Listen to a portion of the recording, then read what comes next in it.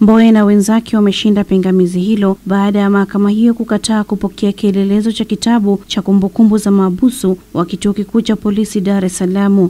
Mahakama hiyo imesema shahidi ameshindwa kukizi kigezo kimoja cha namna ambavyo kielelezo hicho kimemfikia baada ya kuachana nacho Agosti 5 mwaka elfu mbili na ishirini. Kitabu hicho cha kumbukumbu za mahabusu zina taarifa zinazodai kuwa Mohamed Lingwenya aliwekwa mahabusu katika kituo kikuu cha polisi Dar es Salaam. Lingwenya ni mshtakiwa wa tatu katika kesi ya uhujumu uchumi yenye mashtaka ya kupinga vitendo vya kigaidi inayomkabili mwenyekiti wa Chadema Freeman Mbowe na wenzake akiwemo Lingwenya.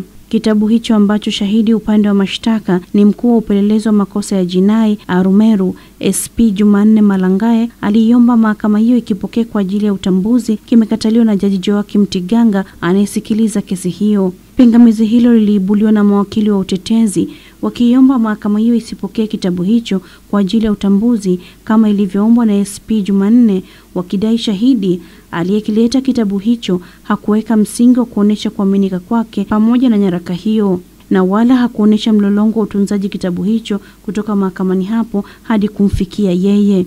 Mbali na Mbowe, washtakiwa wengine katika kesi hiyo ya uhujumu uchumi namba 16 ya mwaka 2021 ni Halfani Bwire hasani Adamu hasani Kasekwa na Mohamed Lingwenya. Katika kesi hiyo washtakiwa wanakabiliwa na mashtaka sita yakiwemo ya kula njama na kutoa fedha kwa ajili ya kufadhili vitendo vya kigaidi.